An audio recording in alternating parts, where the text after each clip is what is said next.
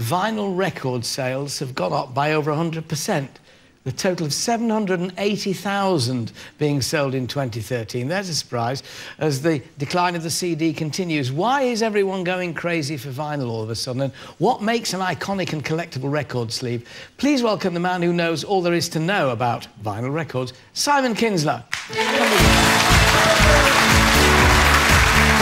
Simon, hi. So why this resurgence? Because in theory, the sound isn't as good as it is on the CD. They go and things like that. Well, they say that, but a lot of people now are saying actually the sound of vinyl is better. It, it's warmer.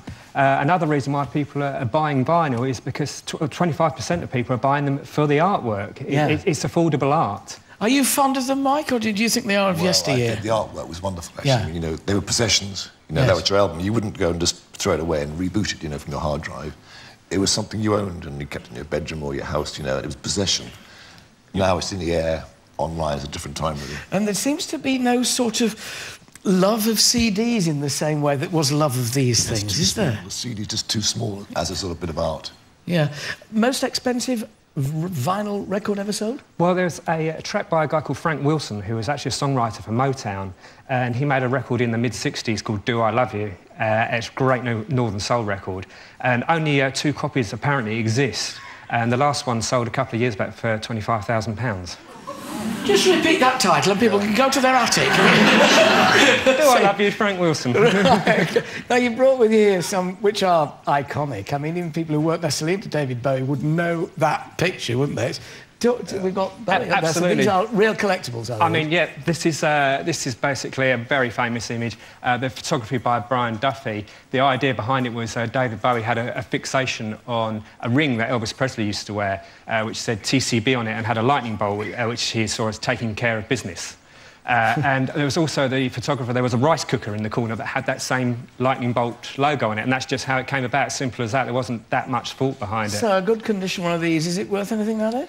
Uh, not unless it's maybe some sort of special Italian issue or something like that, but a cop, cop, normal copy like that. Didn't sell many when it first came out, but it went on to sell millions, millions. Right, it's but just a lovely thing to have. Is it a favourite of nice. yours, Mike? Do you like that one? I've got, that's a great, that's a classic, iconic one, absolutely, yeah.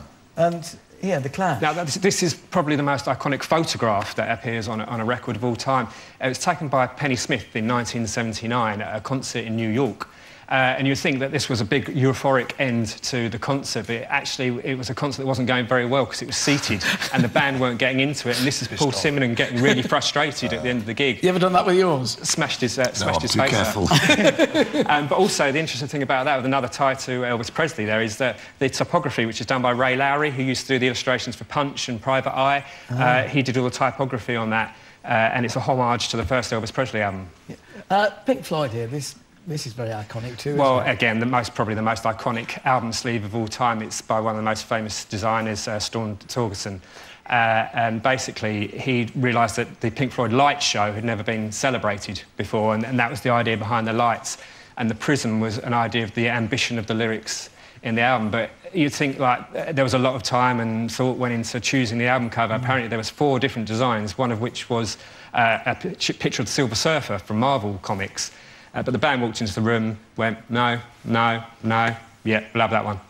And Well, that was it, the most iconic album. Two more here to do briefly. Michael Jackson in a white jacket, which I gather he borrowed from the photographer. Indeed. to spin through these because I know I'll look at a couple of Sure, absolutely. And the Beatles Abbey Road again, surely one of the most famous record All, covers all ever. the Beatles albums are iconic record covers. This one was actually Paul McCartney's idea. They took six photos on the day. This was the only one when, uh, when uh, They're all in it- step. it- but they're all yeah, walking at the same time. Iain Macmillan, uh, who took the uh, photograph, um, said it, it, this was the best one.